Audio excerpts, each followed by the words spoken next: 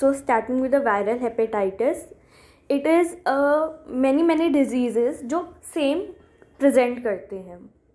मतलब कि इसके एजेंट्स कौन कौन हो सकते हैं? Hepatitis A B C D E F G ठीक है? Till G we have okay there is no hepatitis F sorry but the thing is कि ये बहुत सारे डिफरेंट पैथोजेंस की वजह से हो सकता है। And these pathogens basically viruses जो होते हैं कि डिफरेंट फैमिलीज़ को बिलोंग करते हैं डिफरेंट तरीके से ट्रांसमिट होते हैं, ये एपिडेमोलॉजिकली डिफरेंट लोगों में प्रेजेंट करते हैं। ठीक है? ये मतलब सारी की सारी डिफरेंट चीज़ें हैं, पर ये प्रेजेंट सिमिलरली करते हैं ओके एंड देयर फोर हम इनको क्या कहते हैं? They are clinically similar but their aetiology and epidemiology are different so viral hepatitis and these virus जो होते हैं, ये इनका मेन शिकार होता है लिवर इसलिए इनका नाम हेपेटाइटिस है। जो ए एंड ई है, वो basically contaminated food and water से फैलते हैं, जो इनका मेजर ट्रांसमिशन है। जो ब्लड एंड बॉडीली फ्लूड से फैलते हैं that is B C D then we have delta virus delta virus is a it is a defective virus ठीक है? डिफेक्टिव इन द सेंस कि इसको हेपेटाइटिस बी पे डिपेंड करना होता है फॉर इट्स मशीनरी ठीक है टू इन्फेक्ट एंड अगर दो तरह के इन्फेक्शन होते हैं फॉर एग्ज़ाम्पल अगर आपको हेपेटाइटिस बी है तो फाइव परसेंट चांसेज हैं then you can have hepatitis D also ठीक है? को इन्फेक्शन का मतलब क्या होता है कि आपको हेपेटाइटिस बी एंड डी साथ में हो गया ठीक है? एंड अगर आपको पहले हेपेटाइटिस बी हुआ है देन आपको डी हुआ है then it is super infection this is important because super infection is more dangerous than co infection then hepatitis A की बात करें so it is a infectious hepatitis ठीक है एंड एपिडेमिक जॉन्डिस क्योंकि epidemics करा देता है, ठीक है इन्फेक्शियस तो सारे ही हैं but it can cause major and minor epidemics outbreaks इसमें नॉन स्पेसिफिक सिम्टम्स होंगे like fever chill headache fatigue generalise weakness ache pain ठीक है?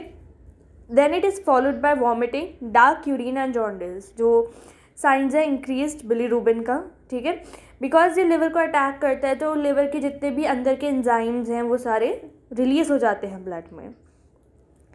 इस डिज़ीज़ का एक बहुत ही ब्रॉड स्पेक्ट्रम होता है। फॉर एग्जांपल आप सब क्लिनिकली हो सकते हैं।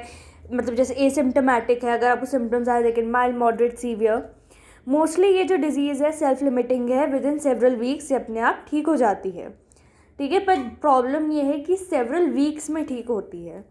इतने दिन आप ऑफ़िस में एबसेंट रहेंगे स्कूल में एबसेंट रहेंगे this will cause you loss ठीक है, बहुत ही कम लोगों में क्या होता है, बहुत ही कम लोगों में ये एक्यूट लिवर फेलियर कॉज कर सकता है एंड बेसिकली जो बहुत ही बुज़ुर्ग लोग हैं उनमें। It is a picornavirus enterovirus को बिलोंग करता है जस्ट लाइक पोलियो ठीक है एंड ये एंडेमिक होता है एंड आउटब्रेक्स करा देता है। देन जियोग्राफिकली देखें तो it is designated as high intermediate and low prevalence Jin areas में ये हाई इन्फेक्शन कॉज करता है मतलब ज़्यादा फ्रिक्वेंसी में प्रेवलेंस में होता है, वहाँ पे क्या होता है generally poor sanitation and hygiene practices होती है बेसिकली चिल्ड्रन को इफ़ेक्ट करता है। ये ओल्डर चिल्ड्रन एंड एडल्ट को इफ़ेक्ट क्यों नहीं करता, क्योंकि वो ऑलरेडी इम्यून हो चुके होते हैं। ठीक है? अगर कोई एडल्ट है तो वो ज़्यादा प्रोबेबिलिटी है कि उसको हो चुका है hepatitis and he has already recovered subclinically और एसिम्टोमेटिकली एंड चिल्ड्रन क्योंकि वो ज़्यादा नहीं जिए अभी तक, उनके जो ईयर्स इतने नहीं हैं, हो सकता है कि वो अभी तक नहीं हुए इन्फेक्ट ठीक है? Intermediate levels of infection in developing countries like India then we have low levels of infection in developed countries like U S and all तो इनमें क्या होता है? हाई रिस्क ग्रुप्स होते हैं.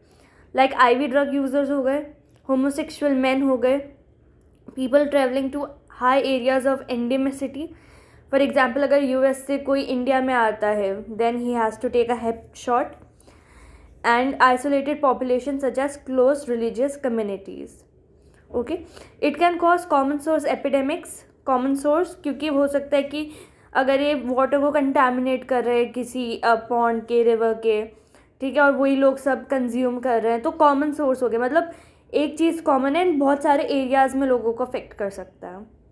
अब एक पॉइंट ये है कि जहाँ भी इसका हाई प्रेवलेंस होगा, वहाँ पे एसिम्टोमेटिक केसेस ज़्यादा होंगे। ठीक है? एक पॉइंट ये याद रखना है। एंड जहाँ लो लेवल ऑफ़ इन्फेक्शन होगा, वहाँ पे एसिम्टोमेटिक कम होंगे एंड लोगों को सिम्टम ज़्यादा होंगे। तो जब भी इसके जो लेवल ऑफ़ इन्फेक्शन है, वो कम होता जाता है वैसे वैसे इसकी सिवियरिटी बढ़ती जाती है। It is a picornavirus hepatocytes में मल्टीप्लाई करता है एंड फीकल शेडिंग होती है इसकी। ठीक है? एंड ये इसका एक लौता serotype is known human are the only reservoirs ठीक है? एंड ये सबसे ज़्यादा कॉमन एसिम्टोमेटिक होता है एंड इन चिल्ड्रन तो चिल्ड्रन सबसे ज़्यादा कॉमन होते हैं इनको फैलाने में। देन पीरियड ऑफ़ इन्फेक्टिविटी की बात करें so two weeks before and one weeks after the onset of jaundice ये फीसेस में मिलता है ब्लड में serum and other infectious fluid ठीक है? एंड ये एक्सक्रीट कैसे होता है फीसेस में? वही two weeks before and two weeks after the onset of jaundice haemodialysis plays no role in the infection of the hepatitis A ठीक है? होस्ट फैक्टर्स की बात करें तो अगेन चिल्ड्रन में होता है एंड सब क्लिनिकल होता है. एंड जो इसकी सिवेरिटी है वो एज के साथ बढ़ती है. जैसे हमने पढ़ा था ना कि एक्यूट लिवर फेलियर किसमें जाता है, जो बहुत ही बुज़ुर्ग लोग हैं आईजीएम एंटीबॉडीज परसिस्ट करती है फॉर थ्री मंथ्स उसके बाद आईजीजी आ जाती है and they persist for many years normal immunology rainfalls में ये कॉमन होता है and poor sanitation and overcrowding इसको फेवर करते हैं. तो ये वाटर बॉर्न है एंड फ़ूड बॉर्न है. अब ये लाइन कि पैराडॉक्सिकली जब standards of hygiene and sanitation are improved morbidity from the infection with enteric virus में इंक्रीज जो हमने पीछे पढ़ा था कि अगर हाई प्रेवलेंस है तो एसिम्टोमेटिक केसेस ज़्यादा होंगे। पर अगर लो प्रेवलेंस है, बहुत कम लोगों को हो रहा है देन जो सिवेरिटी है, वो बढ़ जाती है। सिम्टोमेटिक हो जाता है ये ज़्यादा। फीको ओरल ट्रांसमिशन है इसका मेजर रूट ठीक है? ये सेक्सुअल से भी फैल सकता है पैरेंट्रली भी फैल सकता है but those are of minor importance faeco oral by contaminated food and water and आपको याद रखना होगा कि जो सी फ़ूड होता है जैसे सेल्फिश ऑयस्टर्स हो गए, जो गटर के पानी से या फिर सीवेज पॉल्यूटेड वाटर से निकाले गए हैं that can cause an epidemic of hepatitis A then parenteral route की बात करें तो blood and body products needles then sexual transmission के through it is in homosexual man due to oro anal contact food handlers are not at risk मतलब जो food handle करते हैं, उनको हेपेटाइटिस ए होने के इतने ज़्यादा चांसेस नहीं है जितना फैलाने के, अगर उनका हेपेटाइटिस है तो वो फैला सकते हैं। So they are like common source ठीक है?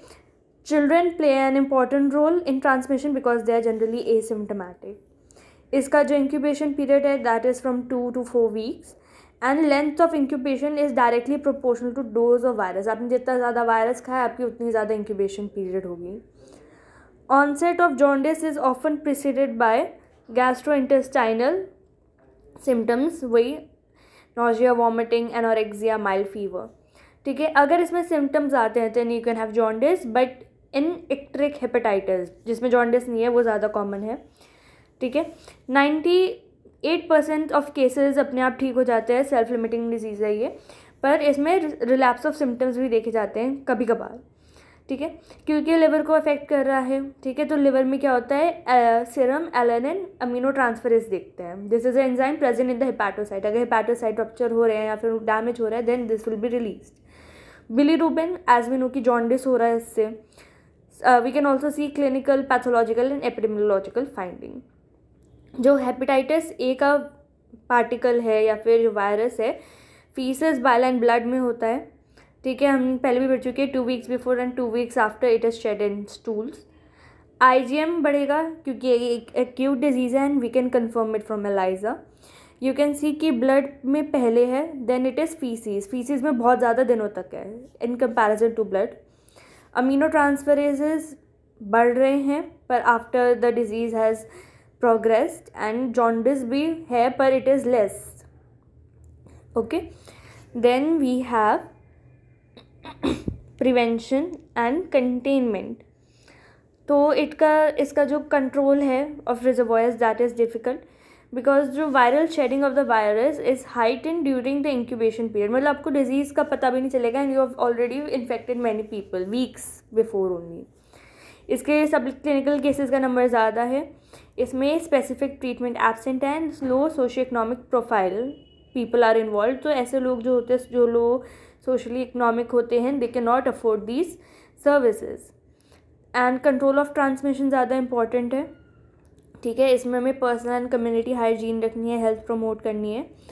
एक क्वेश्चन पूछा जाता है कि कितना chlorine is needed to inactivate the virus and that is one milligram per litre then control of the susceptible population हमने देखा था कि ब्लड से फैल सकता है सेक्सुअल कॉन्टैक्ट से फैल सकता है।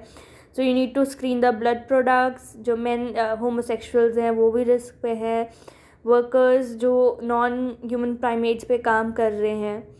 ठीक है इन IV drug users and also जो पेशेंट्स जो जिनको ऑलरेडी कोई क्रॉनिक लिवर डिज़ीज़ है, अगर उनको हेपेटाइटिस ही होगा तो वो फलमिनेंट बन जाएगा। मतलब उनकी जो ऑलरेडी एग्जिस्टिंग डिज़ीज़ है, वो एग्जैजबेट हो जाएगी। तो ऐसे लोगों को वी हैव टू वैक्सीनेट एक रूल ये भी होता है कि vaccine is more effective than immunoglobulin एक तो वो रैपिड भी होती है एंड दिस इज़ चीप जो इम्यूनोग्लोबलिन से they are expensive to make and also अगर हमें प्रोफैलिक्सिस देना होता है या फिर पोस्ट एक्सपोजर प्रोफैलिक्सिस देना होता है then we can use immunoglobulin ठीक है? But that is only considered vaccine is priority not immunoglobulin pre exposure prophylaxis travellers को देते हैं. एंड पोस्ट एक्सपोजर जो मतलब जो कॉन्टैक्ट में आ चुके हैं हेपेटाइटिस ए के.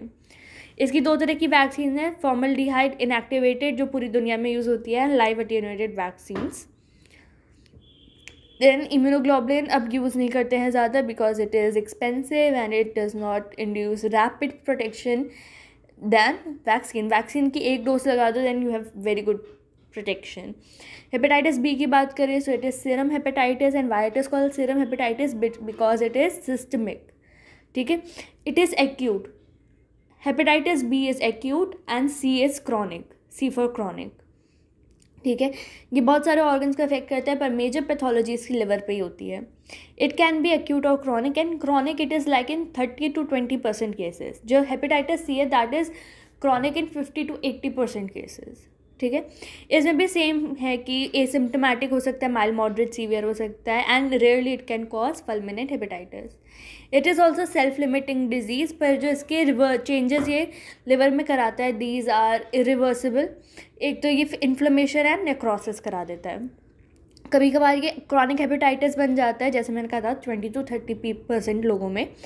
एंड इसको हम क्रॉनिक कब कहेंगे? जब छः महीने से ज़्यादा आपको अपनी बॉडी में हेपेटाइटिस के वायरस मिले। ठीक है? Virus not antibodies virus antigen ठीक है? And it is associated with और विदाउट एक्टिव रेप्लीकेशन ठीक है? And there is evidence of hepatocellular injury and inflammation as important factor है. अब इसमें क्या होता है कि अगर कोई बच्चा जो पाँच साल से कम का अगर उसको हेपेटाइटिस हो गया then he can progress majority into the chronic तो इसमें क्या होता है? जो छोटे बच्चे होते हैं, अगर उनको हेपेटाइटिस हो जाए they can go to chronic तो हमारा जो मेन एम है ऐसे बच्चों को हेपेटाइटिस नहीं होने देना। अब ऐसे बच्चों को हेपेटाइटिस कैसे होगा? या तो इनके इन्वायरमेंट में होगा, या फिर इनको मदर से मिलेगा थ्रू वर्टिकल ट्रांसमिशन ठीक है? इसलिए हम हेपेटाइटिस का जो इंजेक्शन है एट बर्थ ही लगा देते हैं। सो दे आर प्रोटेक्टेड ठीक है? जो फ़र्स्ट डोज होती है हेपेटाइटिस की। बाकी hepatitis is also a pentavalent right then endemicity की बात करें तो दिस पॉइंट इज़ इंपॉर्टेंट कि अगर मुझे पता करना है कि एरिया में कितना प्रेवलेंट है hepatitis then I will use hepatitis S या फिर सर्फिस एंटीजन ठीक है? एंड अगर ये मोर देन एट परसेंट है, ठीक है in a community so I will say that it is highly endemic in that community more than eight percent so ये एंटीजन्स बहुत इंपॉर्टेंट है. We have surface antigen core antigen and envelope antigen and हम आगे पढ़ेंगे. Hepatitis B अगर वो chronic है तो बहुत सीरियस है। क्यों? क्योंकि we have chronic hepatitis that can cause cirrhosis cirrhosis can cause cause hepatocellular carcinoma and hepatocellular carcinoma can cause death and क्योंकि बच्चों में हो रहा है तो बच्चे जल्दी मर जाएँगे। ठीक है?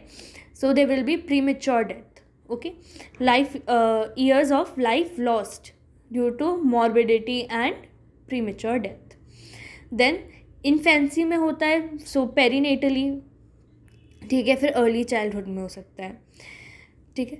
देन इसमें ये भी है कि हेपेटाइटिस अगर आपको है तो आपको दूसरी चीज़ें भी हो सकती है। Like you can have H I V you can have hepatitis C you can have hepatitis D because इन सबके जो ट्रांसमिशन है, वो सेम ही है। नीडल स्टिक इंजरी है यू नो सेक्शुअल ट्रांसमिशन है। एक बात हमेशा याद रखना कि जो एच आई वी है और हेपेटाइटिस बी है, उसमें सबसे ज़्यादा इन्फेक्शियस हेपेटाइटिस बी है। फॉर एग्ज़ाम्पल अगर आप हॉस्पिटल में वर्क करें आपको नीडल स्टिक इंजरी हो जाए then probability of having hepatitis B is 100 times than the HIV hepatitis B is very infectious ठीक है? अब हम इसको कैसे रिस्पॉन्ड कर रहे हैं? कि ये ना फैले बाय रूटीन वैक्सीनेशन तो हम क्या करते हैं? एक तो हेपेटाइटिस बी के लिए बच्चे को जन्म पे ही वैक्सीन लगा देते हैं। सो दैट अगर मदर को है तो बच्चे को ना हो। अगर मदर कैरियर है तो बच्चे को ना हो। एजेंट इज़ हेपेटाइटिस बी सारे hepatitis viruses R N A होते हैं एक्सेप्ट फॉर हेपेटाइटिस बी ठीक है? And it is also known as Dane's particle because it was discovered by Dane and it replicates in liver ठीक है? अब ये patient के सीरम में तीन तरह से प्रेजेंट करता है, एक छोटा सा small spherical particle a tubule and as Dane's particle इनमें से सिर्फ़ डेंस पार्टिकल ही होता है दैट इज़ इन्फेक्शियस बाकी सब ऐसे मॉर्फोलॉजिकल फॉर्म्स है but they are not infectious man is the only reservoir ठीक है? एंड ये भी इसमें भी कैरियर्स होते हैं केसेस होते हैं। ठीक है? इसमें क्रॉनिक कैरियर्स भी हो सकते हैं। एंड क्रॉनिक कैरियर्स क्या होते हैं? जिनके बॉडी में H B S antigen present है for more than six months ठीक है? That are known as chronic carriers अब ये कैसे होता है? Transmit through blood saliva vaginal secretions you can have semen ठीक है? पीरियड ऑफ़ कम्युनिकेबिलिटी की बात करें तो ये बहुत मंथ्स है। अग, आपको अभी हेपेटाइटिस आपको पता भी नहीं चलेगा कि आपको हेपेटाइटिस हो गया और अब बहुत महीने हो चुके हैं आपको। आप ये वायरस चेट कर रहे हैं। हेपेटाइटिस है तो टू वीक्स था ना? This is many many months you can think of one month also ठीक है? The outcome of hepatitis B are age dependent, ठीक है? अगर आप छोटे हैं और आपको हेपेटाइटिस हो रहा है then you will be having severe hepatitis पर जैसे जैसे आप बड़े होते जाते हैं हेपेटाइटिस का जो सिवियरिटी वो कम होती है, ठीक है? And mortality is due to fulminant hepatitis B high risk group पे लोग कौन होते हैं? सर्जन्स वो लोग जो ब्लड प्रोडक्ट्स के साथ डील करते हैं। जैसे कि जो ब्लड ट्रांसफ्यूजन रिसीव कर रहे हैं health care people laboratory personals homosexual prostitutes percutaneous drug abusers, infants of HBV carrier mothers. This is very important. Recipients of organ transplants and patients who are immunocompromised. ठीक है तो ऐसे लोगों को vaccinate करना ज़रूरी है इनकी स्क्रीनिंग करना ज़रूरी है ठीक है ताकि अगर इनको हेपेटाइटिस बी हो तो we do not let it go to the chronic stage ठीक है उसको एक्यूट में ही ख़त्म कर दें हेपेटाइटिस बी जो होता है वो एचआईवी के साथ हो सकता है। हेपेटाइटिस बी आपको एचआईवी नहीं कराता, पर एचआईवी आपको हेपेटाइटिस बी करा सकते हैं एंड हेपेटाइटिस बी को और ज़्यादा एग्रीवेट कर सकता है। फॉर एग्ज़ाम्पल अगर आपको सिर्फ़ एक्यूट होना था तो आपको क्रॉनिक भी करा देगा और कैंसर भी करा देगा, एचआईवी। देन हम जिस एच बी एस एंटीजन की बात कर रहे हैं this is also known as Australian antigen ठीक है? आपके ब्लड में दो तरह के एंटीजन्स मिलते हैं H B S and H B E envelope antigen C antigen core में होता है, इसलिए आप उसको ब्लड में डिटेक्ट नहीं कर सकते हैं because it is in the centre of the virus इसके अगेंस्ट एंटीबॉडीज़ आप डिटेक्ट कर सकते हैं. ठीक है? And these are all useful markers then parenteral route से भी ये ट्रांसमिट होता है. Parenteral route is the main route ठीक है? सो अगर आप कहीं ब्लड डोनेट कर रहे हैं और you know due to anything अगर आपको कोई इंजेक्शन लग रहा है उसके वजह से any surgical procedure any tattooing ear piercing ritual circumcision acupuncture even अगर आप किसी का रेजर शेयर कर लें जिसको है हेपेटाइटिस या फिर उसके टूथब्रश यूज़ कर लें then also you can have hepatitis this is that infectious perinatal transmission एक ऐसी चीज़ है जिसको हम रोकने की कोशिश कर रहे हैं। जनरली कैसे होता है पेरीनेटल ट्रांसमिशन जब बेबी का बर्थ होता है तो हो सकता है कि जो मेटर्नल ब्लड है that can leak into the baby circulation या फिर जो बच्चा है, उसने एक्सीडेंटली इंजेस्ट कर लिया है, या फिर उसके अंदर इनोकुलेट हो गया है मदर का ब्लड ठीक है? एंड साउथ ईस्ट एशिया में, जहाँ पे इंडिया आता है, यहाँ पे ये मोस्ट इंपॉर्टेंट है. ठीक है? एंड ये हम कैसे प्रिवेंट कर सकते हैं? बाय वैक्सीनेशन ठीक है? एंड अदर रूट्स क्या हो सकते हैं? Child to child this is known as horizontal route ठीक है? ये कैसे फैलेगा? फॉर एग्ज़ाम्पल बच्चे हैं, वो खेल रहे हैं और किसी के हाथ में कट वगैरह है या फिर किसी को ग्रेज वगैरह या किसी बच्चे ने उसको हाथ लगा लिया, ठीक है? या फिर दो बच्चे अगर वो सेम बेड शेयर कर रहे हैं, जैसे भाई बहन हो गए they can also have hepatitis incubation period is one to six months ठीक है? एंड जितना मतलब जब भी इसका इंक्यूबेशन पीरियड है, उतना फैलाता है। ठीक है? अगर लो वायरस डोज है तो हाई इंक्यूबेशन पीरियड है। अगर आप, आपके अंदर कम वायरस है उतना ही लंबा इंक्यूबेशन पीरियड है। ठीक है? जो chronic hepatitis B is inactive and does not lead to significant liver disease ठीक है? क्या होता है कि कुछ पीपल में ये हेपेटाइटिस अगर हो गया तो वो एक्यूट रहेगा। ठीक है? अगर वो क्रॉनिक हो गया तो ज़्यादा डैमेज नहीं करेगा। ठीक है? पर अगर किसी में हो गया और वो ज़्यादा डैमेज कर रहा है तो then can lead to fibrosis cirrhosis liver disease carcinoma so it is actually dependent on the person कि पर्सन की इम्यूनिटी कैसी है। या तो ये एक्यूट है तो वहीं रिजॉल्व हो जाएगा। क्रॉनिक है तो कोई डिज़ीज़ नहीं करेगा। पर अगर क्रॉनिक है तो बहुत सारी डिज़ीज़ कर सकते हैं। So it is dependent on person and हमेशा याद रखना, अगर किसी को सिरोसिस हो गया है then it has a poor prognosis you have to remember this chart this is very important chart ठीक है? पहले आप देख रहे हैं, सबसे पहले एच बी एस एंटीजन बढ़ रहा है, ठीक है? And this is very important क्योंकि आपको बताता है कैरियर कौन है, कहाँ पे ये प्रेवलेंट है, ठीक है? एच बी ई एंटीजन इसलिए इंपॉर्टेंट होता है because it tells you about the infectivity ठीक है? Anti H B C antigen it can be I G M I G G I G M means acute I G G means chronic आगे एक table है, हम उसमें सारा revise करेंगे। Then cofactors क्या है? कि फॉर एग्जांपल अगर आप अल्कोहलिक है तो आप में ये डिज़ीज़ जो सिरोसिस एंड हेपाटोसेलुलर कार्सिनोमा है तो बढ़ सकता है। तो ये सोने पे सुहागा लाइक हो गया कि आप ड्रिंक भी कर रहे हैं, आप ड्रग्स ले रहे हैं, आपके अंदर हेपेटाइटिस भी आ गया, आपकी इम्यूनिटी इतनी कम हो गया and then you can go to chronic state and then you can get the cancer and then you can die ठीक है? डायग्नोसिस कैसे करेंगे? एक तो सीरम या फिर प्लाज्मा में हम एंटीजेंस एंटीबॉडी देख सकते हैं। ठीक है? एंड इसमें हम रैपिड डायग्नोस्टिक टेस्ट करते हैं and we can also do laboratory immunoassays ठीक है? Prevention and treatment containment sorry इसका कोई ट्रीटमेंट ही नहीं है, ठीक है?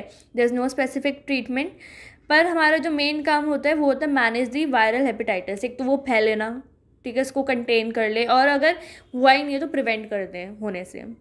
हम वैक्सीन यूज़ करते हैं and this is a recombinant vaccine इसमें ना वायरस है लाइव वायरस है, ना किल्ड वायरस है. So it can be given to immunocompromise it can be given to the pregnant women also it can be given to the baby it can be given to any one ठीक है? सो सबसे पहली dose जो होती है, वो eight birth लगा देनी है because I have told you the obvious reason ठीक है? अगर कोई अडल्ट है, या फिर कोई भी छोटा बच्चा है अंडर टेन तो उसमें क्या करना है, हमें कब देना है? एक ज़ीरो डोज देनी है। उसके बाद हम एक महीने बाद बुलाएँगे, ठीक है? उसको सेकेंड डोज देंगे। एंड फिर हम छः महीने बाद लगा, बुलाएँगे and then will give the booster ठीक है? अब जो एडल्ट हैं, उनको पॉइंट फाइव वन मिलीग्राम देनी है और उसका आधा चिल्ड्रन में देना है, ठीक है? तो adult will be given one gram ठीक है? And children will be given point five millilitre ठीक है तो adult point sorry one millilitre and children be given half point five millilitre but the time interval will be same ठीक है, हम इसको deltoid में लगाना प्रेफर करते हैं, ना ना कि ग्लूटियल रीजन में बिकॉज़ ग्लूटियल रीजन में फ़ैट ज़्यादा हो सकता है एंड हो सकता है हमारी जो इंजेक्शन वो फैट में लग जाए मसल तक पहुँचे ना। Then it won't be no longer intramuscular ठीक है, अगर दो साल से छोटे बच्चे हैं then we go for the anterolateral aspect of thigh hepatitis B does not interfere with immune response to any other virus एक बहुत ही क्वेश्चन आता है कि क्या आप दो वैक्सीन एक साथ दे सकते हैं? येस यू कैन कुछ बहुत ही कम एक्सेप्शन हैं we have elicited right now हम उनको पुरानी वीडियोज़ में बता चुके हैं। Vaccine should be given at different side this is important then इसका फोर डोज शेड्यूल होता है। फ़र्स्ट तो बर्ड्स पे दे दिया। फिर जो बाकी की तीन है that is given along with D और as a pentavalent six, ten, fourteen. या तो हम इस हेपेटाइटिस को अलग से दे सकते हैं या फिर एज अ कॉम्बिनेशन ठीक है? These schedules will prevent most perinatally acquired infection जो सबसे खतरनाक इन्फेक्शन है, जो बच्चों को हो रहे हैं क्रॉनिक हो रहे हैं, उनको प्रिवेंट कर देगा। ठीक है? By one month of chronological age her infant को, ठीक है? हर प्री मेच्योर इन्फेंट को, चाहे उसका वेट बहुत ही छोटा हो या फिर जेस्टेशनल एज हो, सबको हमें, एक तो बर्थ पर तो लगा ही देनी है। पर उसके बाद हमें उसको आगे थ्री डोजेज़ भी देनी है। ठीक है? जो हम बर्ड पे लगाते हैं वैक्सीन वो ज़रूरी नहीं है, इतनी इफ़ेक्टिव हो, इसलिए हम थ्री डोजेज़ और लगाते हैं। ठीक है? सिक्स टेन एंड फोर्टीन पे। क्योंकि हो सकता है कि बच्चे का वेट इतना अच्छा ना हो, ठीक है? या फिर वो प्री मेच्योर हो, और उस समय वो एडिकेटली ना रिस्पॉन्ड कर पाए। ठीक है? डाटा ऑन इम्यूनोजेनिसिटी सजेस्ट कि in any group any age group interruption of vaccine should not require starting of the new vaccine series for example कोई बच्चा था, वो वापस आया, पर लेट आया, ठीक है? वो एक महीने के बजाय दो तीन महीने लेट आया तो अब हम क्या करेंगे, उसको फिर से लगाना शुरू नहीं कर देंगे। हम वही वैक्सीन जो वो भूल चुका था लगाना, फिर से लगाएँगे। ठीक है? तो अगर किसी ने वन डोज ली, फिर सेकेंड डोज भूल गया तो हम फिर से वन डोज पे शुरू नहीं करेंगे, हम उसको सेकेंड डोज लगाएँगे। So you have to administer vaccine as soon as possible चाहे वो कितना ही लेट क्यों ना हो, आपको देनी ही है। ठीक है? It can be for two weeks it for first dose second dose and third dose ठीक है? You have don't have to start the cycle again कि ओ माई गॉड आप दो महीने लेट आए चलो आपको फिर से फ़र्स्ट डोज देंगे। No that's not the case and this table is very important देखिए, अगर आप में एच बी एस एंटीजन है मतलब कि आपको डिज़ीज़ है, ठीक है? अगर आज में आप में एच बी ई एंटीजन है मतलब आप इन्फेक्शियस हैं एंटी एच बी सी है एंटी एच बी सी में अगर आई जी एम है then you are acute I G G है then you are chronic anti H B S antigen का मतलब क्या है कि या आप रिकवर कर चुके हैं या फिर आप क्या हैं वैक्सीनेटेड हैं। ठीक है? So like that you can make the diagnosis also for example अगर एच बी एस पॉजिटिव है anti H B C I G M है H B E antigen present है सो यू आर एक्यूट ठीक है? You are infectious and आपको अभी अभी hepatitis है। नेक्स्ट वाले में देखेंगे जो सेकंड है, जिसमें आप में एच बी एस पॉजिटिव है, आप में आई जी जी एंटीबॉडीज़ हैं H B E antigen positive है। इसका मतलब है कि आपको हेपेटाइटिस अभी है पर वो क्रॉनिक है and you are still infectious ठीक है? ऐसे आप पूरी टेबल इंटरप्रेट कर सकते हैं and you can make it on your own then इसमें भी सेम है जो लाइन ऊपर हाईलाइटेड है कि अगर आपने थर्ड डोज भी डिलेट कर दिया तो आप फिर से साइकिल शुरू नहीं करेंगे। आप थर्ड डोज का as soon as possible administer कर देंगे। अडल्ट में वन एम होती है एंड चिल्ड्रन में पॉइंट फाइव एम होती है डोज़ ठीक है? And it is not necessary अगर कोई भूल गया है लेना अपनी हेपेटाइटिस की वैक्सीन तो आपको रीस्टार्ट नहीं करनी है सीरीज़ या फिर अपने आप से कोई डोज नहीं करना है, क्योंकि बहुत टाइम हो गया वैक्सीन के बीच में आपको as soon as possible just लगा देनी है। ठीक है? हाई रिस्क ग्रुप कौन से होते हैं जिनका सेक्सुअल बिहेवियर बहुत ज़्यादा है? ठीक है? या फिर उनके घर में किसी को हेपेटाइटिस बी है? ठीक है? या फिर वो आईवी ड्रग यूज़र्स हैं ब्लड प्रोडक्ट रिसिपियंट्स है, किसी ने सॉलिड ऑर्गन डोनेशन लिए ठीक है? ऑक्यूपेशनल रिस्क भी है hepatitis like health care workers ठीक है? जो ट्रैवल करते हैं एंडेमिक एरियाज़ में हेपेटाइटिस बी के, ठीक है? अगर किसी को पहले से हेपेटाइटिस बी से एलर्जी है, उसकी वैक्सीन से तो तब नहीं लगाएँगे। बाकी it does not have any contraindication like pregnancy और इम्यूनो कॉम्प्रोमाइज पीपल इम्यूनोग्लोबुलिन की बात करें तो हम इसको तभी यूज़ करते हैं अगर किसी को एक्सपोजर हुआ हो H B S positive antigen से बिकॉज़ दिस इज़ एक्सपेंसिव ठीक है? जो हेपेटाइटिस बी इम्यूनोग्लोबुलिन है, उसको एज सुन एज पॉसिबल दे देना है within three days ideally six hours पहले, ठीक है? But not later than two days two days से के बाद नहीं देना है, ठीक है? टू डेज़ से पहले पहले ही दे देना है। ठीक है? एंड फिर एट द सेम टाइम उसका जो विक्टम है, उसका ब्लड निकालना है उसको टेस्ट करना है कि उसमें एच बी एस एंटीजन आ तो नहीं गया। अगर नेगेटिव है then you have to give the vaccine immediately and start the full course if it is positive then आप कुछ नहीं कर सकते हैं no further action is needed ठीक है? You have to start with the the treatment ठीक है? अब इसमें हम दो डोजेज़ रिकमेंड करते हैं। ठीक है? One day apart for the immunoglobulin ठीक है? अब हम जो इम्यूनोग्लोबुलिन है, उसको सबको नहीं दे सकते या फिर लॉन्ग टर्म प्रोफाइलेक्सिस नहीं दे सकते हैं सब में because it is very costly and इसके बहुत ज़्यादा कॉम्प्लिकेशंस है, ठीक है?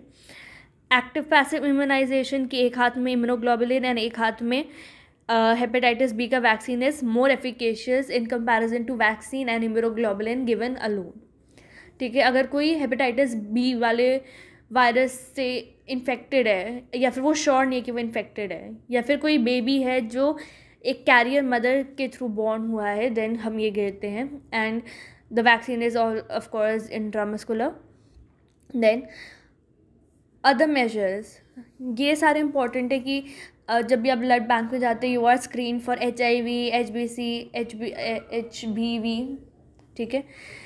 एंड वॉल्टरली हमें ब्लड डोनेशन इंकरेज करना चाहिए, क्योंकि अगर हम किसी का ब्लड खरीदते तो हो सकता है कि वो बताए ना कि उसको हेपेटाइटिस है, ठीक है?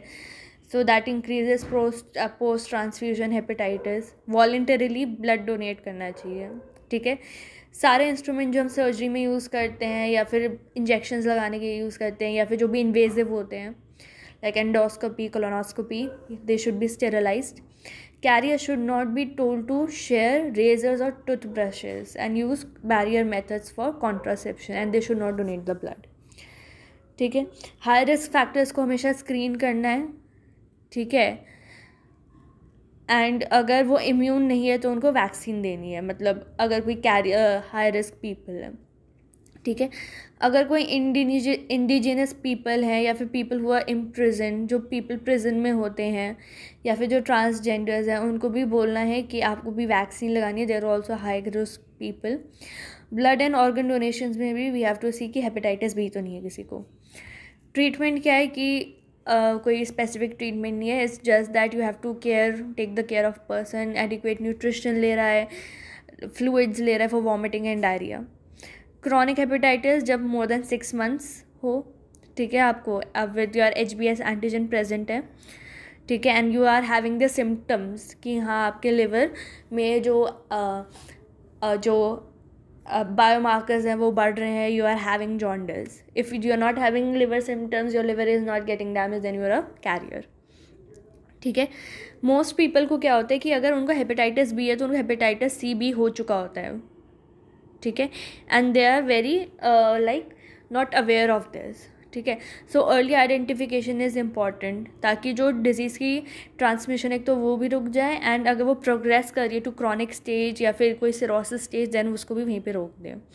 एंड जो उनके आसपास के लोग हैं, जो उनके घर में रहते हैं, उनको वैक्सीनेट करना है।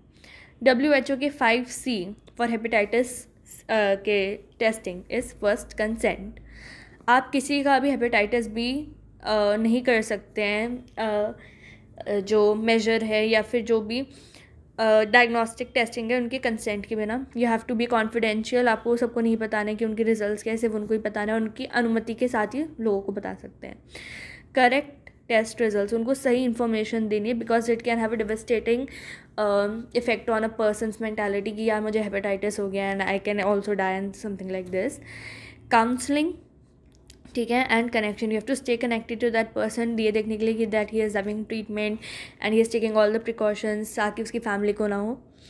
Then this is a flow chart that you have to follow whenever you are dealing with hepatitis people अगर किसी को hepatitis B surface antigen detect करना है then we use rapid diagnostic test ठीक है? अगर ये पॉजिटिव है then you can start with the assessment process ठीक है? पॉजिटिव होना ही काफ़ी नहीं है. It should also have symptoms ठीक है? साइंस एंड सिम्टम्स या फिर compatible with the H P V infection मतलब कि उसमें जो क्लिनिकल डायग्नोसिस वगैरह बन रही है नॉट ओनली लेबोरेटरी सब मैच कर रहा है।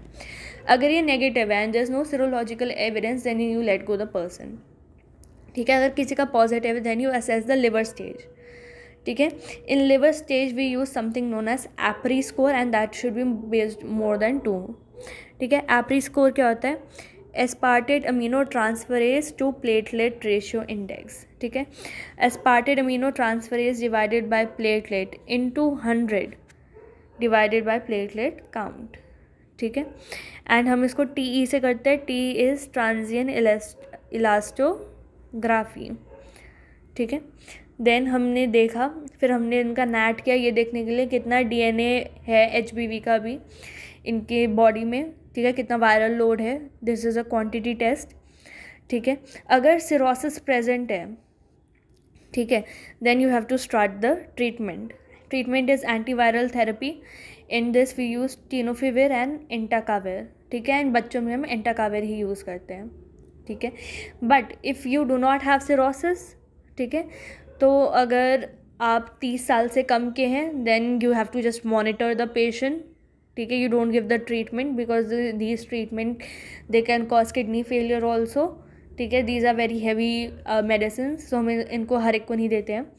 ठीक है, पर अगर आप तीस साल से ज़्यादा हैं and your A L T L L N as this A L T is more ठीक है then you are have to give the antiviral therapy and अगर ए ज़्यादा है and the viral load is more than two twenty thousand then only ठीक है?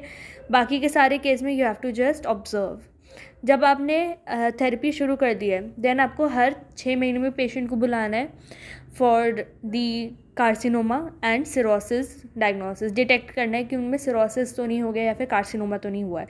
And this is done through ultrasound and serum A F P alpha feto protein alpha feto protein increases in cancer, okay? Treatment का response देखने के लिए, ठीक है? या फिर ये देखने के लिए डिज़ीज़ बढ़ तो नहीं गया तो every year you have to call and इसमें आप ए देखते हैं डी एन ए का लोड देखते हैं एच बी ई एंटीजन देखते हैं। एच बी एंटीजन ये बताते हैं कि इन्फेक्शियस है कि नहीं। And then you stage the liver disease and every बारह महीने you also call because the treatment is very risky it can cause renal failure these are very heavy drugs then this is the flow chart for hepatitis C as you can see इसमें भी same ही है protocol कि अगर positive है then you have to see कि उनमें symptoms हैं कि नहीं and then you start with all the management part अगर वो नेगेटिव है then you let go the patient अगर वो है positive then you do the NAT to see कितना वायरल लोड है. And this we have H C V antigen it does not have any surface antigen and envelope antigen like B it has only one antigen then we see the R N A load ठीक है C antigen देखते हैं। अगर C antigen present है and we see कि वायरीमिया हो रखा है, पूरी बॉडी में है virus then we start with the liver assessment अगर नहीं है then we also let go the patient and we just observe him ठीक है। असेसमेंट की बात करें then we again use APRI score more than two ठीक है। देन हम, अगर ये एप्री स्कोर है तो हम देखते हैं, एक तो हम एंटीवायरल ट्रीटमेंट शुरू कर देंगे।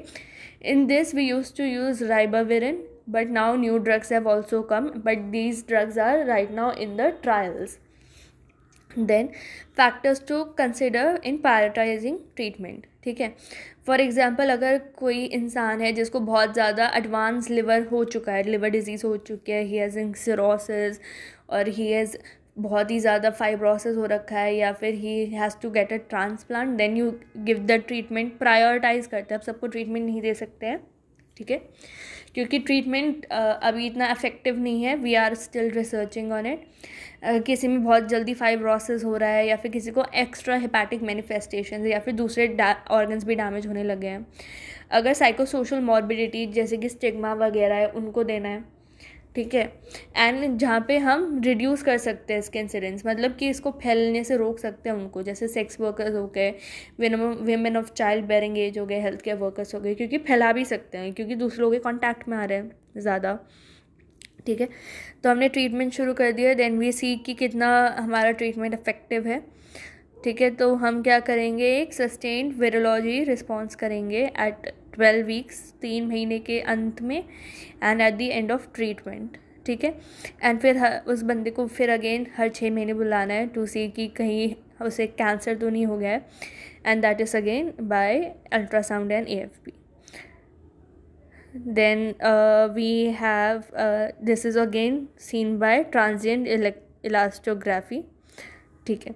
अब जो ये लास्ट लाइन लिखी है, इसमें ये लिखा है कि जिन लोगों को एच बी वी होता है, उनको एच सी वी हो सकता है या फिर जिनको एच सी वी होता है, उनको एच बी वी हो सकता है। ठीक है? फॉर एग्ज़ाम्पल किसी के अंदर जो था एच बी वी लेटेंट था, अब उनको एच सी हो गया एच सी वी उनको हेपेटाइटिस सी हो गया तो क्या हो सकता है, जो इनमें हेपेटाइटिस बी है, वो एक्टिवेट हो जाएगा। तो फिर जिनको भी हेपेटाइटिस सी होता है, उनको हमेशा स्क्रीन करना चाहिए फॉर हेपेटाइटिस बी ठीक है? Then coming again to hepatitis B hepatitis B जो क्रॉनिक है it can be treated with the drugs ठीक है? हम सिरोसिस को स्लो डाउन कर सकते हैं एंड सर्वाइवल रेट बढ़ा सकते हैं, ठीक है? टीनोफोविर एंड एंटकाविर, ठीक है? These are one pill a day and इनकी बहुत ही कम साइड इफ़ेक्ट्स हैं। पर जो ट्रीटमेंट है वो रेप्लिकेशन को कम कर देगा। ये वायरस को पूरी तरीके से बॉडी से ख़त्म नहीं करेगा सो ये ट्रीटमेंट लाइफ लॉन्ग लेना पड़ता है। Some people also take interferon but interferon बहुत महँगे होते हैं एंड इनके जो एडवर्स इफ़ेक्ट बहुत ज़्यादा होते हैं। सो so, बहुत ही जो रिच पीपल होते हैं they can only afford this then कुछ गाइडलाइंस हैं कि अगर किसी को अगर हेपेटाइटिस बी है तो simple non invasive diagnostic test use करने ठीक है ताकि ट्रांसमिशन का रिस्क कम हो जो ये टेस्ट परफॉर्म कर रहे हैं। उनको ही ट्रीट करना है जो मोस्ट एडवांस लिवर डिज़ीज़ है मतलब जो बहुत ज़्यादा भी रिस्क पे हैं। मरने के। Nucleotide analogues with high barrier to drug resistance. ठीक है? तो अगर किसी को ड्रग रेजिस्टेंस है, for example, hepatitis B is not responding to tenofovir और entecavir, then we can give nucleoside या tide analogues. Life long treatment देना है, जिनमें बहुत ज़्यादा सिरोसिस हो रखा है रेगुलरली मॉनिटर करना है उनको डिज़ीज़ प्रोग्रेशन के लिए। And also toxicity of drugs then universal health coverage के अंदर हमें हेपेटाइटिस बी का इंजेक्शन लगाना होता है. This is one of the sustainable developmental goals ठीक है? एंड ये देखा गया है कि अगर हम वैक्सीन लगाते तो बाय नाइन्टी परसेंट हम लोगों में इसका ट्रांसमिशन एंड डेथ रोक सकते हैं. प्रिवेंशन की बात करें तो एटलीस्ट थ्री डोजेज़ होनी चाहिए एक इन्फेंट में. एक तो प्रिवेंट करना है हमें from mother to child and blood की सेफ्टी देखनी है. ठीक है नाइन्टी परसेंट है हमारा कवरेज होना चाहिए। This is her target for two thousand twenty जो ये साल चल रहा है। हेपेटाइटिस सी की बात करें सो इट इज़ कंटेजियस ये बहुत जल्दी क्रॉनिक हो जाता है, ठीक है? मतलब ये बहुत ज़्यादा क्रॉनिक होता है। फिफ्टी टू एटी पीपल में एटलीस्ट परसेंट में ये क्रॉनिक हो ही जाता है। ठीक है it is again mild moderate severe हो सकता है। ठीक है एंड मोस्टली ये सीवियर होता है so it can cause life long illness it is chronic and it is major cause of parenterally transmitted hepatitis ठीक है?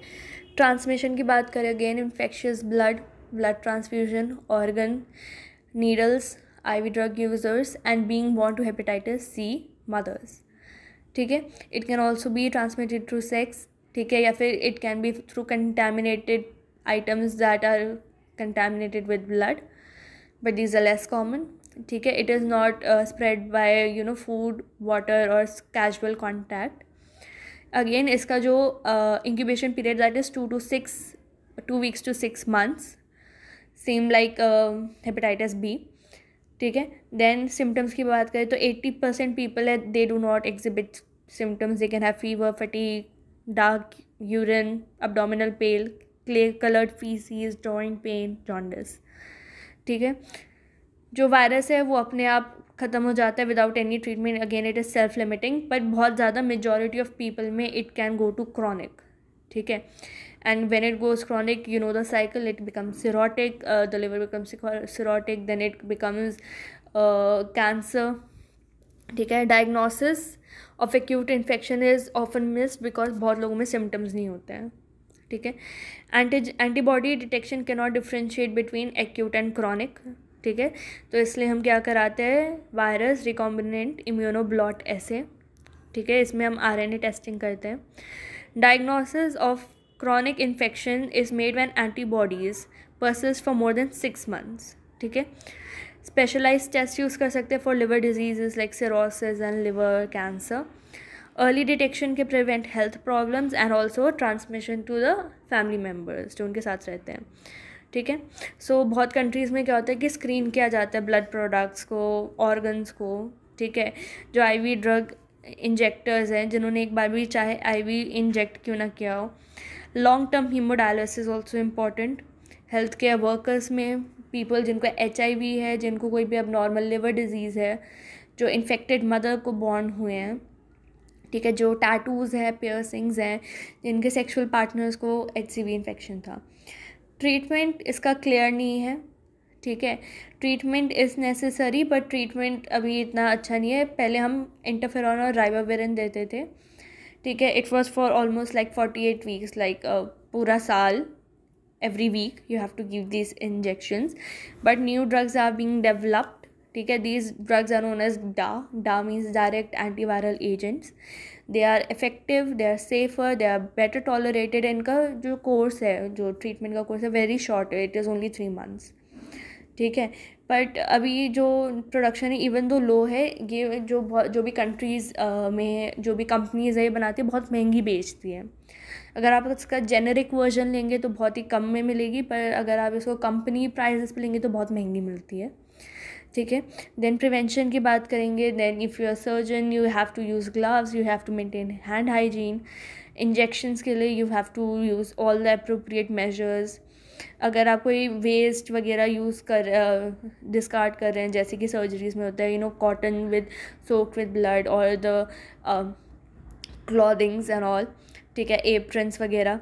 Testing for the donated blood training the health personal use of condom ठीक है? Education and counselling करनी है लोगों की, ठीक है? इम्यूनाइज करना है लोगों को टू प्रिवेंट को इन्फेक्शन ठीक है? हेपेटाइटिस सी है तो आपको बी एंड ए भी हो सकता है। So you have to give vaccine against A and B ठीक है? हेपेटाइटिस सी की अभी तक वैक्सीन नहीं आई है, पर इट इज़ बिंग डेवलप्ड मतलब इस पर रिसर्च चल रही है। अर्ली अप्रोप्रिएट ट्रीटमेंट देना है, अगर किसी को हो गया है। And early diagnosis of chronic liver disease so that we can treat it well then this is the difference between hepatitis A B C ठीक है? ए चिल्ड्रन में होता है बी एंड सी एडल्ट में होते हैं। ए क्योंकि diarrhoeal है मतलब it is related to faeco oral than it is more in rainy season but hepatitis B and C throughout the year होता है। इंक्यूबेशन पीरियड की बात करें तो hepatitis B A hepatitis A is like two weeks before and two weeks after the incub जो इसका infectious है। And uh, जो हेपेटाइटिस बी एंड सी है it is months to years कि ये इन्फेक्शियस रहता है। इसका इंक्यूबेशन पीरियड भी ऑलमोस्ट लाइक सिक्स मंथ्स है। जो B and C are they are not present in the stools they are mainly present in the blood ठीक है? फीवर कॉमन होता है हेपेटाइटिस ए में बी एंड सी में नहीं होता है ठीक है? लेस कॉमन होता है। एंड जो अमीनो ट्रांसफरेसेस हैं जो सिरम लिवर एंजाइम्स हैं वो बी एंड सी में बहुत दिनों तक बहुत महीनों तक परसिस्ट करते हैं। ए में भी बढ़ते हैं but for a short duration ठीक है? इम्यूनोग्लोबुलेंस की बात करें तो ए में आई जी एम होता है प्रीडोमिनेंटली बी एंड सी में it can be I G M I G G because they both acute and chronic and A is always acute complication की बात करें तो A is never chronic and this point is important कि B में at least like ten percent लोगों में common होगा and in C it is more than fifty people who have common ठीक है? बाकी दीज आर सेल्फ लिमिटिंग अगर ये ठीक हो जाते हैं एक्सेप्ट फॉर सी क्योंकि सी में mostly like eighty percent of the people अगर उनको हुआ है तो they can go chronic B and A में it is self limiting and बहुत ही कम लोग होते हैं जिनकी किस्मत ख़राब होती है, जिनमें क्रॉनिक हो सकता है फिर फलमिनेंट हेपेटाइटिस करा सकता है। ठीक है? चिल्ड्रन में नॉन एक्टरिक हेपेटाइटिस कॉमन होता है। ठीक है? And fifteen to twenty nine years में बी एंड सी कॉमन क्यों होते हैं? क्योंकि एक तो ये सेक्शुअल बिहेवियर शो करते हैं ज़्यादा and they have drug abuse ठीक है? देन हेपेटाइटिस ई की बात करते हैं it is also faecally transmitted ठीक है? इसमें genotype one is most commonly found in India इसके बहुत सारे टाइप्स होते हैं वन इज़ कॉमन अगेन ये वाटर जहाँ पे अच्छा सैनिटेशन नहीं है हाइजीन अच्छी नहीं है, वहाँ मिलेगा. Transmission is faeco oral it is food borne ठीक है? It can be also due to transfusion of blood products it can be also vertical transmission but main important is faeco oral ठीक है? And again इसका incubation is like one month then symptoms are most like common है. Adult में common है. Children में होता है but it is again asymptomatic तो अगर अडल्ट में होता है then symptoms like jaundice loss of appetite abdominal pain tenderness nausea vomiting fever enlarge and tender liver इसमें जो लिवर है, वो इन लार्ज जाएगा एंड टेंडर होगा. We do not reduce this in A ठीक है? Hepatitis E it can cause fulminant hepatitis like A but इसमें important बात क्या है कि जो प्रेग्नेंट वेमेन हैं उनको ज़्यादा रिस्क होता है फलमिनेंट हेपेटाइटिस कॉज करने का। सो so, जो ई e है अगर प्रेग्नेंट वेमेन में हो जाए then it is very risky ठीक है? This is the highlight of the hepatitis E immunosuppressed में भी ये क्रॉनिक हो सकता है ठीक है? E is not clinically distinguishable by others मतलब अगर hepatitis A B C D E है तो सबके सिम्टम्स एक है। हम इनको डायग्नोस कैसे करते हैं? मतलब अलग अलग कैसे पहचान पाते हैं? थ्रू लेबोरेटरी डायग्नोसिस कैसे by I G G and I G M antibodies and through reverse transcript transcriptase polymerase chain reaction it is also self limiting prevention is कि इसमें कोई ट्रीटमेंट नहीं है। ठीक है एंड इसके लिए कोई इम्यूनोग्लोबुलेंस नहीं है, इसके लिए कोई वैक्सीन नहीं है। ठीक है so we have to do normal things like hand washing करनी है, साफ़ पानी पीना है फ़ूड प्रैक्टिसेस अच्छी होनी चाहिए। इसकी वैक्सीन है, पर ग्लोबली बनी नहीं है it is only present in China hepatitis D की बात करें then I have told you this is a defective virus पाँच प्रतिशत लोगों में होता है जिनको हेपेटाइटिस बी हो चुका है। ठीक है वर्टिकल ट्रांसमिशन इज़ पॉसिबल ठीक है। हम एच डी वी को कैसे डायग्नोस करते हैं? वही I G G and I G M antibodies again against H D V and we can also test H D V R N in the serum इसका कोई ट्रीटमेंट नहीं है ठीक है। एंड uh, अगर आपको हेपेटाइटिस बी के साथ डी है ठीक है that can tell you the prognosis also and फिर हमें हेपेटाइटिस बी को ट्रीट करना पड़ेगा। इसमें interferon alpha is the only effective drug ठीक है? एंड इसमें वही है कि मोर देन वन ईयर आपको ये थेरेपी देनी पड़ेगी। ठीक है? अगर आपको एंड स्टेज लिवर डिज़ीज़ हो गया या फिर बहुत ज़्यादा ख़राब हो गया, सड़ गया आपका liver then you have to do the liver transplant ठीक है? अगर आपको एचडीवी को प्रिवेंट करना है होने से then you have to prevent H B V hepatitis G is not important because it is not found mainly it is not very common ठीक है? Then hepatitis A it is a picorna virus hepatitis B is a hepadinavirus it's a DNA virus, ठीक है? अगर किसी में H B E antigen है that means it is highly infectious he the H B V anti virus is replicating very much in him ठीक है? अगर antibody है एच बी एस के अगेंस्ट तो मतलब या तो वो रिकवर कर चुका है, या फिर उसको इम्यूनिटी आ गई थ्रू वैक्सीन ठीक है? अगर एच बी एस एंटीजन है किसी में, ठीक है? And he is not showing showing the symptoms then he is a carrier ठीक है? देन एच बी सी के अगेंस्ट अगर एंटीबॉडीज़ हैं तो इसका मतलब he can have the illness right now या फिर उसको पहले थी। एच बी सी की बात करें तो post transfusion hepatitis is very common mostly ये फैलता है ड्यू टू ब्लड प्रोडक्ट्स क्योंकि अब हम ब्लड प्रोडक्ट्स की स्क्रीनिंग कर रहे हैं तो हेपेटाइटिस सी का जो इंसिडेंस है, वो बहुत बहुत कम हो चुका है and it is a flavivirus and that's it for today